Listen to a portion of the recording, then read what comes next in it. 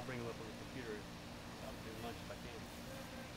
Up in uh, Tennessee, Uh huh.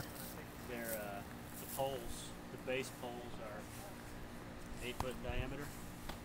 We're sitting up on top, and they're probably I don't know. Each blade's probably 25, 30 feet long, and they're only three blade, and they're just they're very they're moving like this. Mm-hmm.